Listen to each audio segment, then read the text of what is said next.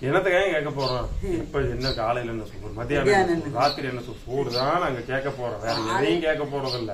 இந்த ஐம்பது ரூபாய்க்கு வந்து அஞ்சு வகை அஞ்சு வெரைட்டி நான்வெஜ் வந்து அது சாப்பாடோட தராங்க அப்படின்னு அஞ்சு வெரைட்டியா ஆமா. நூறு ரூபாய்க்கு பத்து வெரைட்டி நான்வெஜ்ஜோட சாப்பாடு இதெல்லாம் போடுறாங்கண்ணா நூறு ரூபாய்க்கு? ஆமா. ஏடா பத்து வெரைட்டி போனா காக்கா பிரியாணி ஏதாவது போடுவாங்க ஹலோ எல்லாருக்கும் good morning welcome back to Gopi அம்மா கோபி அம்மா ஆமா. ம். இது காலையில என்ன என்ன செய்யற? என்ன செய்யற இனிமேல் தான் போய் குளிச்சுட்டு ஏதாவது டிஃபன் வேலை செய்யணும். செய்யறத பத்தி கேட்கலமா. சோறு என்ன செய்யறேன்னு கேக்குறேன் இப்ப நாங்க எல்லாம் என்னத்துக்காக கேட்க போறோம்? இப்ப என்ன காலையில என்ன சோறு மத்தியானம் ராத்திரி என்ன சோறு? சோறு தான் நாங்க கேட்க போறோம். வேற எதையும் கேட்க போறது இல்ல. காலையில டிஃபன் பண்ணாலும் ஒரு மாவு இருக்குது. இப்பதான் யோசிச்சுட்டு இருக்கிறேன் ஆமா. மத்தியானத்துக்கு அப்புறம் என்ன பண்ணலாம்னு யோசனை வந்தா? சரி இது என்னமோ கேட்க வந்தானே. ஆ புரட்டாசி எப்ப முடியுது? பொட்டாசி ஏன்டா இப்பதானே வந்தது பொட்டாசி இன்னும் பொட்டாசி முடி இருக்கு பத்து பாஞ்சு நாளைக்கு மேலே இருக்குது. ஆஞ்சு நாள் இருக்கு நான் இப்ப நான் எதாவது கேட்கறேன் இல்ல பைக் ரெடியா இருக்குது. பைக் ரெடியா தானே இருக்கு. இப்பதானே நம்ம வாங்கின பைக் நல்லா தான் இருக்குது. இப்ப என்ன அது பைக்குக்கு இல்லம்மா சேலம் சைடுல வந்து. ஏதோ ஒரு ஊர்ல பா கேள்விப்பட்டேன். என்ன கேள்விப்பட்ட? இந்த ஐம்பது ரூபாய்க்கு வந்து அஞ்சு வகை அஞ்சு வெரைட்டி நான்வெஜ் வந்து அது சாப்பாடோட தராங்க அப்படின்னு. அஞ்சு வெரைட்டியா ஆமா. அஞ்சு வெரைட்டி என்ன பொய்யா சொல்ற நீ அஞ்சு வெரைட்டி எப்படா கொடுக்கணும் அது ஐம்பது ரூபாய்க்கு. ஆமா ஏன் நீ இந்த பேஸ்புக்கு இந்த இதெல்லாம் நீ பார்த்ததே இல்லையா? நான் பேஸ்புக் பார்த்தீங்கன்னா யூடியூப்ல போட்டாங்க. அது என்ன பொய்யா இருக்குன்னு நான் நினைச்சிட்டு இருந்தேன். நிறைய அஞ்சு நீ வேற ஐம்பது ரூபாய்க்கு எப்படி நூறு ரூபாய்க்கு பத்து வெரைட்டி நான்வெஜ்ஜோட சாப்பாடு இதெல்லாம் போடுறாங்கண்ணா பத்து வெரைட்டியா என்ன பத்து வெரைட்டி நூறு ரூபாய்க்கு. நூறு ரூபாய்க்கு? ஆமா. ஏடா பத்து வெரைட்டி போனா காக்கா பிரியாணி ஏதாவது போடுவாங்க. காக்கா பிரியாணி. காக்கா எல்லாம் இல்லம்மா. சிக்கன் தான் போடுறாங்க.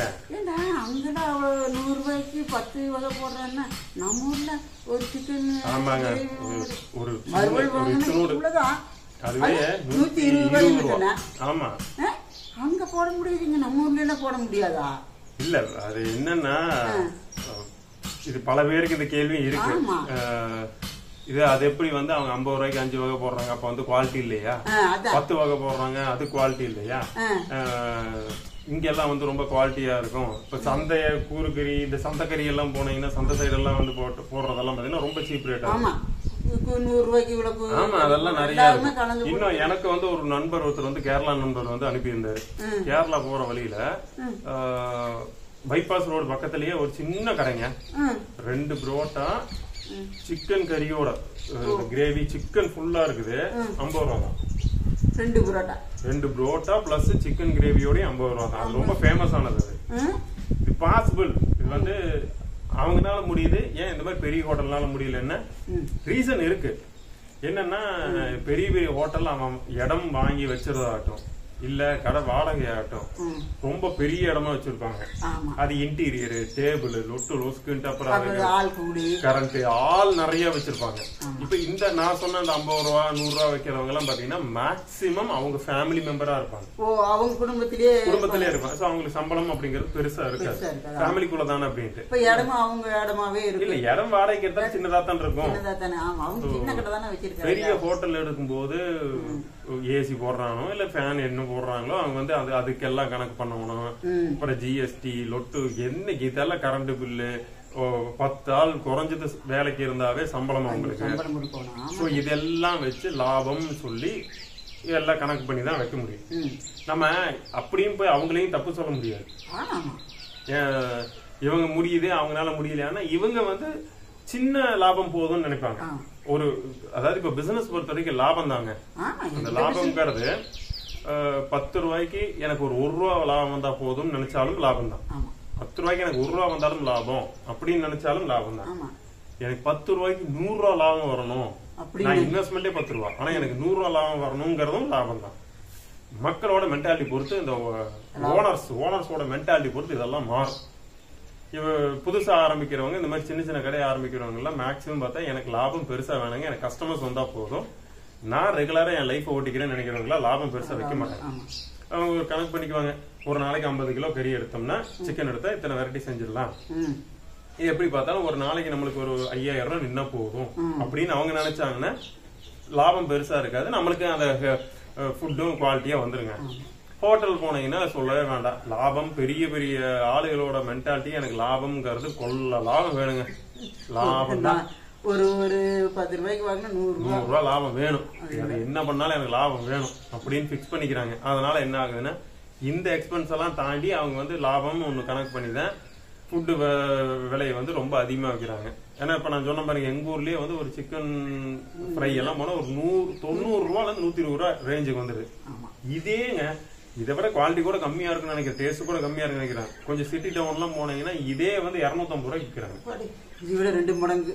ஸோ அது ஒண்ணு அது அவங்க லாபம் இன்னொன்னு கடையோட மெயின்டெனன்ஸ் இதெல்லாம் இதெல்லாம் கணக்கு பண்ணிக்கிறாங்க. லாபத்தை கொஞ்சம் குறைக்கலாம். மக்கள் வந்து நிறைய பேருக்கு புரியல. பெரிய லாபம் வச்சு ஒரு பத்து கஸ்டமர் போதும்னு நினைக்கிறக்கும் குறைஞ்ச லாபம் வச்சு ஒரு நூறு பேர் ஒரு ஆயிரம் பேர் வர கஸ்டமர் இதுக்கும் டிஃபரன்ஸ் இருக்கு. ஆயிரம் பேர் திருப்தியா சாப்பிட்டு போவாங்க. ஆமா.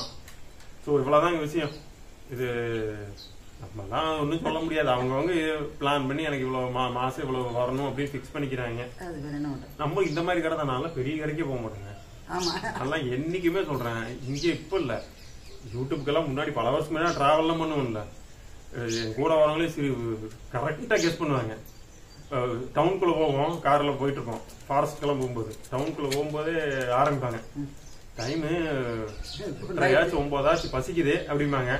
உடனே uh, கூட இருக்கிற சொல்றாரு இவர் எங்கெங்க டவுனுக்குள்ள சாப்பிட விட போறாரு. வாங்க வெளியே போலான்னு இழுத்துட்டு விடுறாரு. அப்புறம் வெளியே அவுட்டர்ல போகும்போது சொல்லுவாரு என் இந்த இடம் இந்த ஏரியா நல்லா இருக்குல்ல அப்படிம்பாரு. சாப்பிடல இருங்க. அந்த மாதிரி ஏரியாவில் போனா ரொம்ப சீப் ரேட்டா இருக்கும். ரேட்டு uh, ரொம்ப சீப்பு கரெக்ட் ரேட்டா இருக்கும். டேஸ்ட் வேற லெவல் இருக்கும் ஆமா கை நீங்க போய் பாருங்க ட்ரை பண்ணுங்க. இன்னொரு கூட்டம் இருக்காது. ஆமா. கூட்டமே இருக்காது. நல்ல ரெஸ்பெக்ட் இருக்கும். நல்ல மரியாதை இருக்கும். கொஞ்சம் அந்த ஆம்பியன்ஸ் சொல்றது கொஞ்சம் உங்களுக்கு கம்மியா இருக்கும். என்ன சொல்றது? நீங்க அப்படியே ஹைஃபைவா எதிர்பார்த்தீங்கன்னா நார்மலா ஒரு வீட்ல உட்காந்து சாப்பிடுற மாதிரி இருக்கும். ஆனா டேஸ்ட்டுக்கு பஞ்சம் இல்ல. ஹெல்த்துக்கு நல்லதுங்க. ட்ரை பண்ணுங்க. சரி சரி பாஞ்சு நாள் கழிச்சு தான் ஆனா சேலம் போகணும் நானும் அதையும் பார்த்து வச்சேன். ஓஹோ. எங்கேயாவது நீங்க யாராவது போயிருந்தீங்கன்னு வைங்களேன் இந்த மாதிரி ஐம்பது ரூபா சாப்பாடு நூறு ரூபா சாப்பாடுலாம் சாப்பிட்டுருந்தீங்கன்னா கமெண்ட்ல சொல்லுங்க நானும் தெரிஞ்சுக்கிறேன்.